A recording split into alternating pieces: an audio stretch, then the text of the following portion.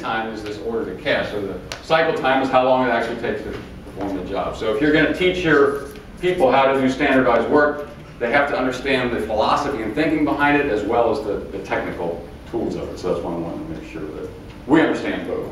So if you have uh, a 200 seconds, say, new product development or whatever, and you got four team members, how are you going to teach your four team members to balance those four jobs? And we gave tools, we had magnet boards, Yamazumi they're called, or balance boards, where the operators would build second by second, right, the, the cycle time for those jobs. They would build the standardized work.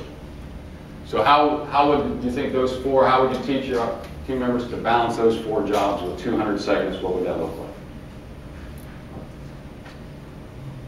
It's too quiet in here. The late game. These aren't that hard questions. It's a late game. Just list 50 seconds. 50 seconds would be a, An initial start. a start. way to start, to balance it all right. Any other thoughts? Load up the first three people and leave the last one with a lot of idle time. All right. So his idea was to load up the, uh, where you want to load it to? Pretty Close to 60. Close to 60. Gentleman's work. And why do you want to do that? The last person can make up the difference or help problem solve a little bit if they got some time. Okay. So what do y'all think? Which one you like? I want to be number four. Huh? I want You'd like to be number four? First one gives them all time. First one gives them all time to do some problem solving, okay? You don't want people with hundred percent usage capacity all the time. Don't want people at hundred percent.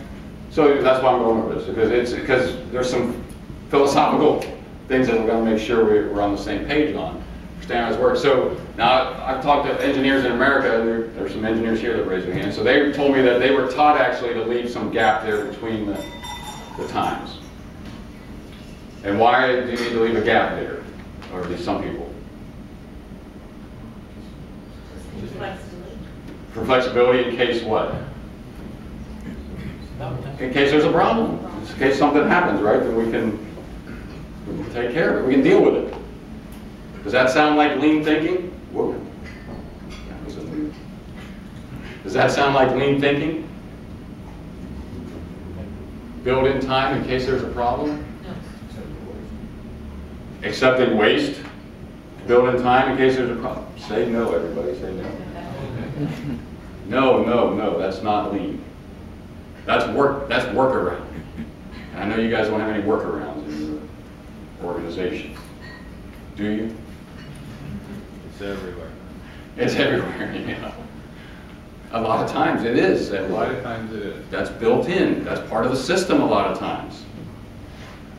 And I even learned, you know, part of there was a time where uh, I had a team member out of good intentions trying to work. Remember that fender line I was telling you about with uh, Japan? Well, we had it in America, that was my part on my line, and we had an American supplier, and they weren't, we weren't up to speed yet, and the holes weren't lining up, and the plastic to the body. So this poor operator was having to wrestle this and bang it and push it and stretch it in order to get that thing in. So I go by him one morning, and he's pushing, pulling, bending, sweating, and thanks for your extra effort, great job today. All right, I'm on to the next one, you know. Not too long, much later, the trainer's over there, and he used to call us like this. Mike-san. Come. Operator, what is he doing? Oh, uh, extra, I already thanked him for all the good job, you know, I already thanked him. No, no good. Why no good? Working very hard. Why no good? He's.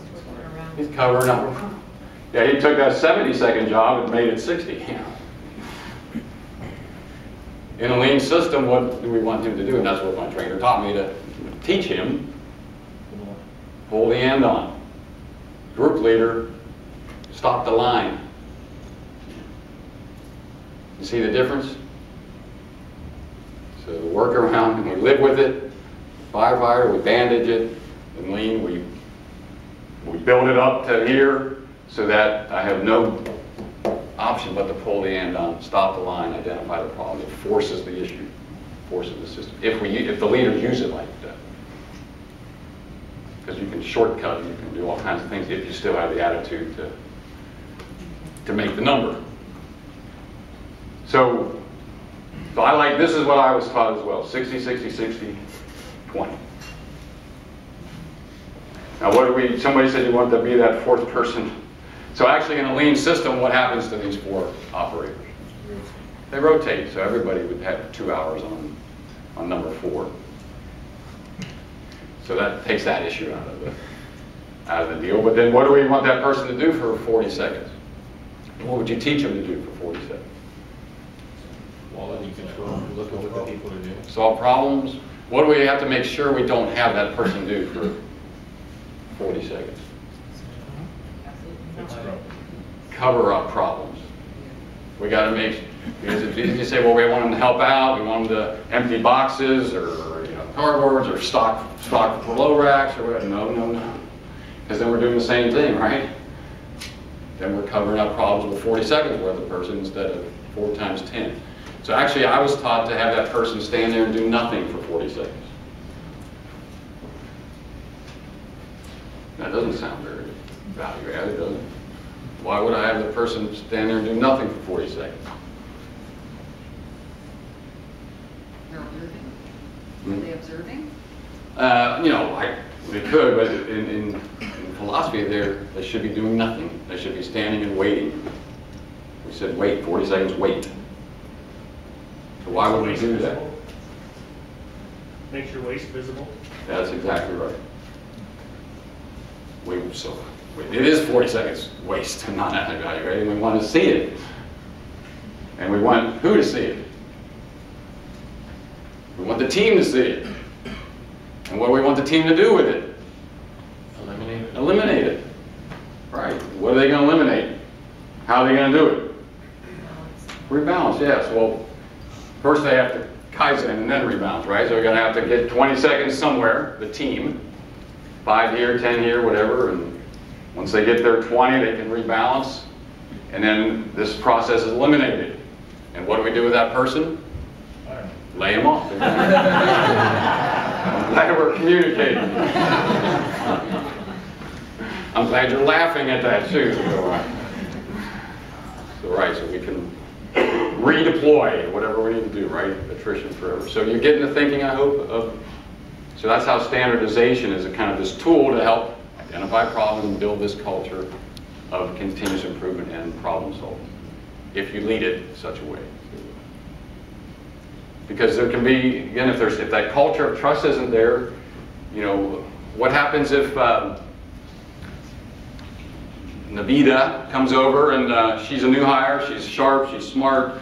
She uh, pretty quickly picks up that there's uh, some wasted time or motion in this process. I, got, I do three trips to the flow rack. On my second one, I can actually carry that other part. And she just saved five seconds. So she's earned herself a five second breather every minute. But what do we want her to do? We want her to share that right with the team leader and the team. So what motivates her to share that with the team and the team member? She just earned herself a five second break every minute. And that's pretty motivating. So what motivates her to share it with the team? Because what's the team going to do? What's, how are we going to thank her if she shares the five seconds sake? Give you more, five more seconds work. Thank you very much. Is that motivating? You're not so sure. Yeah, you just saved some time and they gave you more work. You go, Just save some time and give you more work. What the? Then what would want to motivate you to save more time to get more work when the other three are doing the same work? That's a great question. That's why I'm asking. You wouldn't, you go save some time. And the leaders have to answer that question. So what's the answer? Recognition. Recognition, and we'll do that, and we're, we got that on the list, we'll cover that, you know, we, we did more hats and t-shirts and Coca-Colas and lunches and you can shake a stick at, and, um, is that enough? Could help? Is it enough? So what, when's it gonna be enough? Because I've been in organizations where they start the standardization drive and they go talk to wherever. And this could be administration, production control, IT people, whatever. And um, machinists and say, well, because they're thinking, hey, we want all the best practices, we want to put it on, and we got to put it all. Well, if you come to me and I'm a machinist or a IT person, I'm not gonna give you all my best ideas, you know, I'll give you some of them, keep you happy and let you move on, but I can't give you all my best ideas. Why am I not gonna, why aren't I gonna give you all my best ideas? Because you don't give me the value in return for the ideas I'm giving you or the time savings that I've got. That's one thing. And, and, and if I get, tell you everything I know and I'm the best on the equipment you just told me and I give you all my secrets, then what? Yeah, then, then you won't need me anymore. Am I expendable? So what's it gonna take for Navita to share the five seconds? Job security? Job security, good answer. So we're back to that again.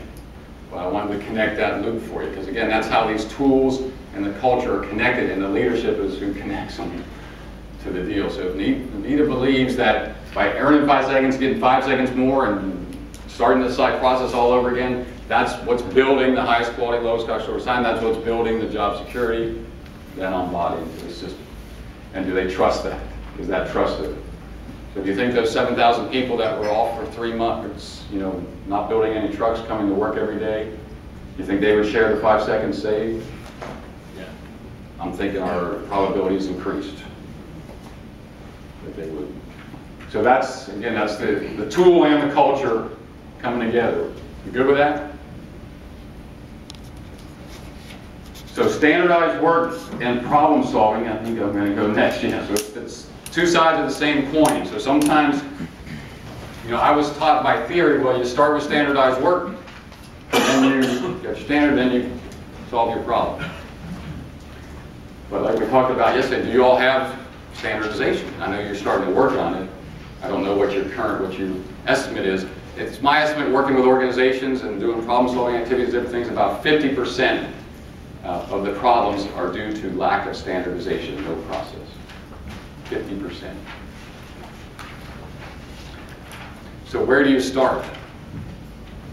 Somewhere. Somewhere. Anywhere, I mean. Where do you start? You start at the input. If you're gonna start anywhere, start at the input, because that's gonna cause the least problems down the line. At the end, input, you're saying? or- Yeah, I mean, right where you're receiving your ingredients, standardize that first, so that the problem doesn't expand the line. Yeah, I mean, that's, if if you, if you have the, the time and the resources to do that, I agree. That would just, and then follow all the way through. And and that's the ideal, that's basically what we tried to do at Toyota when we had the startup. We checked it all the way through. Uh, with, with brownfields, when I find out, you know, the, the resources and the, the firefighting, what I try to do is, is start with what are your priority problems? And about 50% of those are going to result from a lack of standardization. And then guess what? We got our starting point of where to go, go standardize and then extrapolate from there, so to speak. So your problems will, will, will tell you a lot of times. And, and again, from a technical point of view, we can't call them problems if you don't have a standard. But uh, your issues, your, your phenomena and things will guide you on where to, where to go identify those gaps in standardization.